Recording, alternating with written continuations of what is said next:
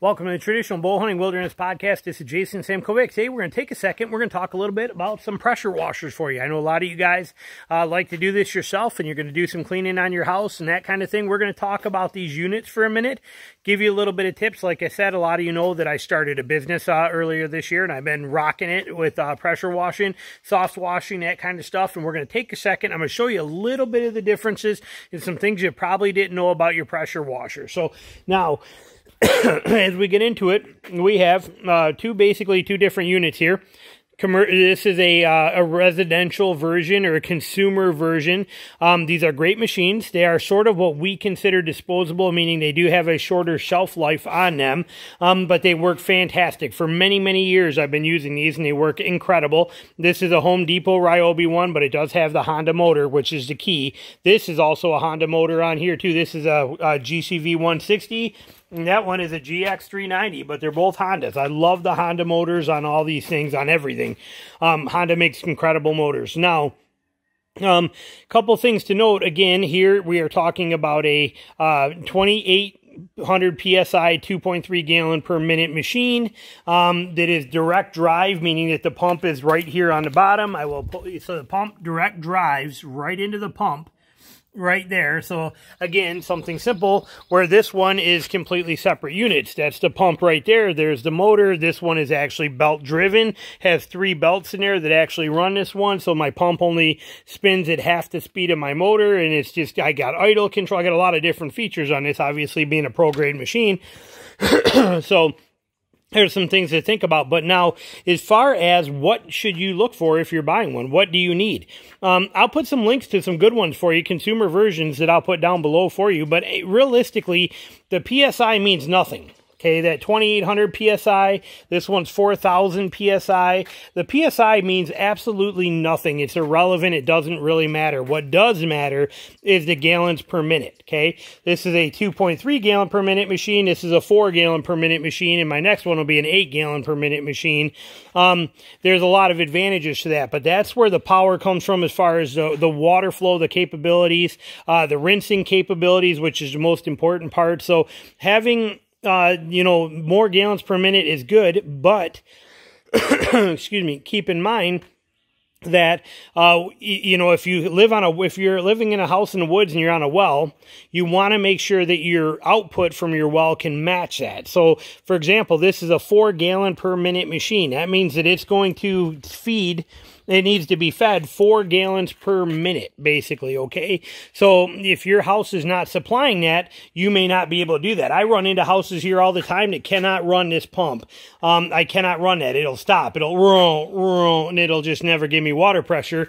So I have to actually go to this tank right here and I bring that tank with me on those houses and I feed it and I actually pull from this and it's a buffer tank that gives me, so even though they might only be putting out three gallons per minute, I can get my four out of this and this keeps filling as I keep drawing. So uh, it's got, you know, there's, there's a lot of different things going on here, um, but it gives you that option. I got inside of here, there's a Hudson float valve in here so that this doesn't overflow. A lot of different things to that, but it is an option. But so the easy way to test that before you buy one is to make sure you have enough water pressure is to go over to your spigot that you have on the side of your house, put a grab your hose, put a five gallon bucket there and fill that bucket and time how long it takes you. If it if it fills a five gallon bucket in a minute, then you're getting five gallons per water. If it fills uh, you know four gallons or three gallons in a minute, you're getting four or three gallons per minute. So it's real simple to figure out, but that will let you know what you can and can't get away with for your house. Now, when you buy one, it's also important to understand that the tips matter per machine. I cannot take the tips off of this machine here. These tips that you see right here, all these different, uh, you know, tips, which I'll talk to you about those in a second, but I cannot take these and put them on this machine because this is a 2.3 gallon per minute. That's a 4 gallon per minute. The orifice, the hole size in these is different in design for this machine, for that 2.3 gallons per minute. This one, the ones on here, you see right here, are bigger and designed for a 4 gallon per minute. Now, if you look at this here, let me move this one out of the way real quick. Um, but like I said, this is a fantastic little machine. We'll talk more about it in a minute. But back to the tips. If you look at it, you're going to have basically a little bit of variety here, and this shows it pretty well. Your chem tip is a 65, usually a 65, but this is going to spray soft water. There's not a lot of pressure there, but it's used for chemicals, okay? If you were to use a downstream injector on this uh, or a soap tank, okay, like that soap tank right down there, you see that black one right there, that tank, the only way to get chemical to be pulled out of that and shot through your wand is to actually use the chemical draw tip. These will not pull any soap out of there. The only way to get soap to come out is to use the chem tip. Okay, and it basically works on the Venturi system and vacuum, and it draws from there, but it needs the right tip on there. Now, mine does not have a soap tank, but I do have, I don't ever use because I use a, a, chem pump, but um, this would be a downstream injector. So I would take this, and I could put this right in line right here at my output, so I could stick this right in here and put that in there, and then take this uh, fill this end of the hose and stick it right in a five gallon bucket and draw my soap through there if I wanted to, just like that tank is. But in order to draw from there, you have to be using the chem tip. Now, if you look at these, they show you the patterns on here too. So a zero degree has a very tight, very pencil stream, very point uh, tip. And then the 15 degree, you can see it fans out a little more. 25 fans out even wider and a 40 fans out even wider than that. So it gives you an idea what these tips are. And they're all color coded the same on every machine. But again, you want to pay attention to the orifice size and make sure you're getting it. Now, how do you figure that out? Let's look at it, okay? So if you take a tip and you're wondering, on here, you see these numbers right there? See how it says 15040? Right there. Hang on, I'm going to make sure if I get it to focus. 15040. That that means is that is a 15 degree nozzle and a 4 gallon per minute machine. The 40, 4 gallon per minute. So there'll be a number on each one of them that will tell you. This will be a 25040. Okay, so this one here will be, wherever it is on there, right there, it's going to be a 25040, meaning that this is a 25 degree spray nozzle on a four gallon per minute machine. So that's, you want to make sure, you don't want to just go to Home Depot and buy a set of these or Amazon. You want to make sure you get them that match the machine that you have, okay? That is very important that you do that. Now, there are other tips. Well, we're talking about tips that you can use. Uh, some of them good, some not so much. This right here can go on the end of your wand like this, and then you can use that like that on the end of a wand for getting in and put a tip. You take your, one of those tips we showed you, put it in the end, and you can use this for gutters. Okay, this thing here, no offense, but it is a joke. Uh, used it twice, and I'm telling you, it just makes more of a mess than anything you've ever seen, and I'm not a fan of it. I'd rather climb up there on a ladder and use my hands, uh, or use my other tools. I made my own tools for cleaning gutters, like this thing right here. You can see this long pole that extends out, and I made my own gutter tool out of this with just a squeegee setup. This held a squeegee and it's held a brush. Got it at Home Depot or something, and I ground it down to fit gutters and made it perfect, and it works great. But um, like I said, they do make that attachment. That's one I do not recommend. That little U-shaped one, I'm not a fan. These are extension wands right here. You can get these. I have them in five different lengths. But you can take this and put it right into the end of your gun right here like this and stick these right in and make that wand longer. Hold on, I'm going to show you here. But uh, so that would fit right in there. Tips are rolling all over. There we go. But give you an example here that, you know, you can put an extension on there such as that kind of thing if you want to reach higher that kind of stuff. And you know, the, I have them in I have them in uh, the two foot or three foot. I got a, um, a four foot, six foot, and eight foot extension on there. So then you can just plug them right in. Very easy to do. Now, uh, your guns. Okay, I have two different sizes. This one actually appears my kind of my dedicated rinse gun.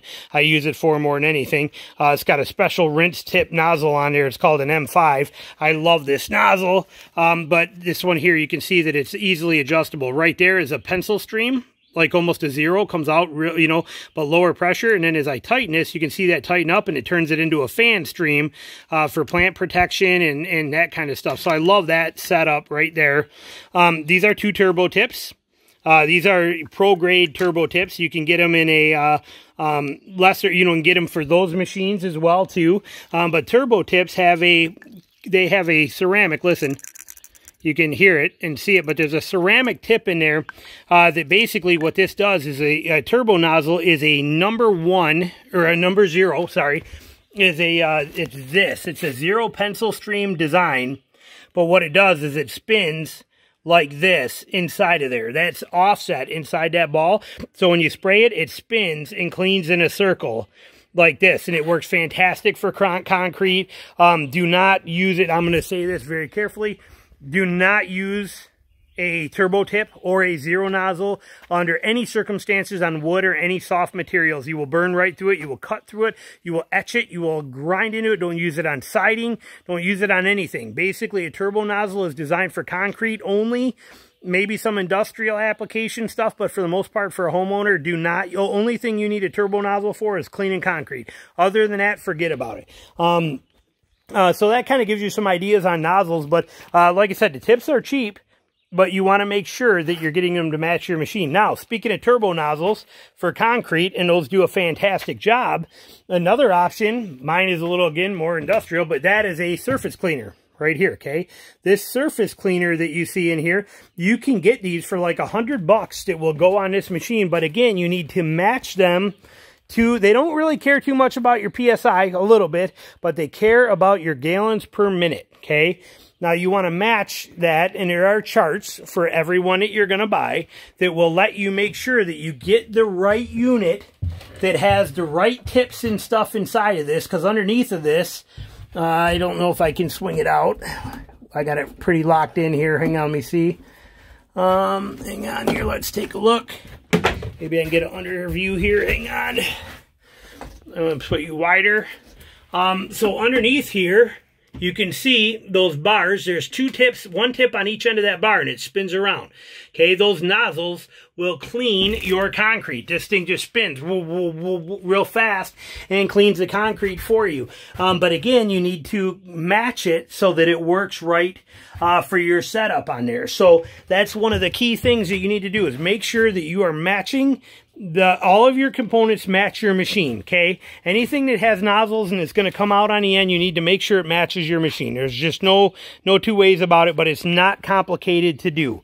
Now, as far as that stuff goes, this one here, quarter inch line, this one runs 3 eighths. You can see I got uh, 200 foot of 3 eighths. That's my pressure line right there. I run a ball valve on mine, again, because that way I can, uh, I don't have to turn my machine off to switch between my turbo nozzle, uh, you know, gun, between my wand or my pressure washer or a surface cleaner. I can just simply kill the water, disconnect it, plug into that surface cleaner, run the surface cleaner, disconnect. I can use this to rinse with, with that ball valve and clean the concrete off. And then if I need to, I can connect the wand right into there. I don't have to, all I got to do is keep opening and closing the ball valve to stop the water. I don't got to kill the machine. So that's why I run it that way for how I'm setting up on there. Um, maybe not be that big of a deal for you guys uh, for you know for homeowner type stuff. But um, the thing to remember is you do not want to run a pressure washer without the trigger being pulled and being used it. So if you are not literally on this trigger, boom, fire and spraying water out of there. When you let go of that trigger, your machine is starting to overheat okay? It's quickly starting to overheat and it's not going to take long. So you do not want to start your machine and not, or you don't want to let off this trigger like this where it's not shooting anything and leave it sit there and let that motor idle and let it go uh, because that pump is getting really hot. That's actually this device that I have on here because I do a lot of uh, lake houses that have got buildings that you cannot get that close to with a trailer or you're going they're so far apart from each other that it's easy it's too hard for me to run uh, I would have to run 350 to 400 feet of hose here, 200 feet of hose here, plus my chem line hose that I run on my other rig. I'd have to run all these hoses and it's exhausting. So I make my machine portable. That's why it's mounted on wheels and I can pull this out and I can use less hose and it's, it's a lot easier for me to just drag this thing wherever I need it. And like I said, if I need a buffer tank, I have a buffer tank right there that's on that cart and I can pull it right along with me too. But for my area and where I live without subdivisions and dealing with the way houses are set up here, it's easier for me. Now, okay, this is a bypass. Same thing as what's going to happen there. If you leave that run, it's going to give you fits because you're going to hurt that pump by letting that go. Well, the pro grade machines, and maybe yours, has got what's called a bypass loop. It'll be a black hose here, comes out of the unloader, comes over, and it goes right into that fitting right there. And it's 12 inches long. So when you let off the trigger of the gun, what's happening is all the water here is just making a continuous loop right here, just like that through that black hose. And again, you're only talking 10 minutes or so, 15 minutes. You're going to start to really heat your pump up and hurt stuff. So what I did instead is I actually have it here. I plugged my return line and I have it here. And then I actually just wrapped all this hose because I may use this for a, when I set up my next trailer, I may have it where I can plug in or unplug. So if I need this unit portable, or if I need this unit to be mounted, leave it mounted, I can. But right now, I have all that hose, and then I got a T-fitting on here. So when I let off my trigger gun, water starts squirting out of here and out of here. So both sides, water trickles out of both sides, but it constantly keeps cold water going through there. So that way I can actually run this machine. I can let off the trigger and leave it sit there idle unlimited. I can leave it for an hour if I want to, and it won't hurt nothing because the pump is circulating fresh, cold water all the time and spitting out the other stuff. But with these, it's a good idea to not run your pressure washer for longer than a few minutes. If you are stopping, let's, let's say that you uh, need to go in to go to the bathroom, turn your machine off. If you got to go answer a phone call, turn it off. Don't leave this thing sitting there idle. If you got to go move stuff off the deck so you can clean it, turn this thing off. It's better for you than letting it run.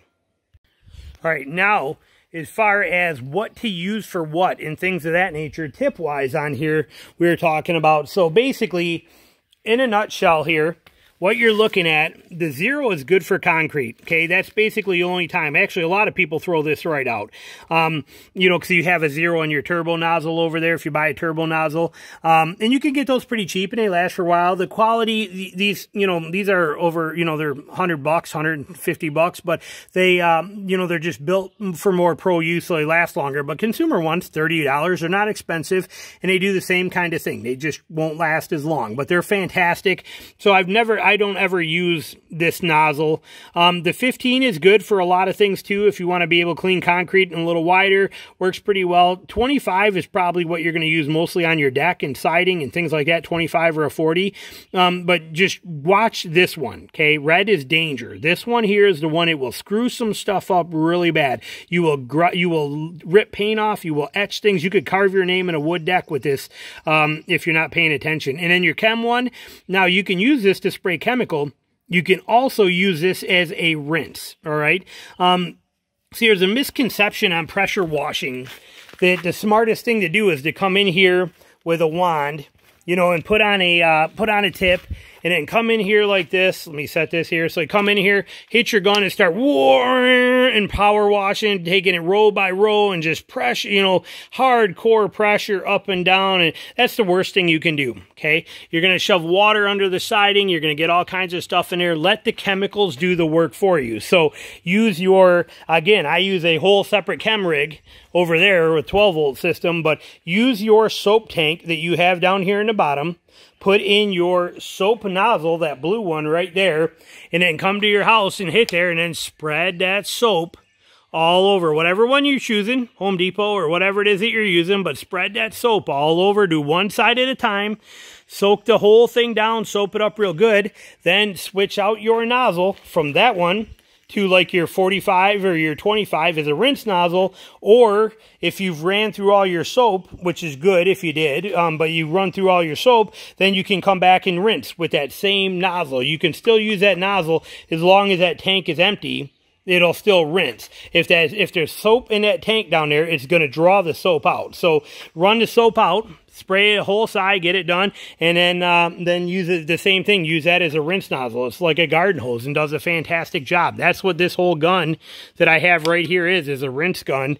Um, so it works really good. So, but basically, you put the chems on the on the house let it dwell five, seven minutes, whatever says on the instructions you're doing, and then rinse it. Uh, and if you're going to use pressure, like I said, then I would go with something probably in the 25 or the 45 and stand back a little bit so you're uh, not really doing any damage or anything like that to it. So that basically is pressure washers and kind of gives you a feel for them. Like I said, you know, these things are incredible. I think this, I think I paid 299 bucks for this thing like five years ago, and uh, it's been a great pressure washer. It has done this house I don't know, six, seven, eight times. It's done my neighbor's house over there four times. It's, it's done a lot of work. It's a fantastic unit for the money.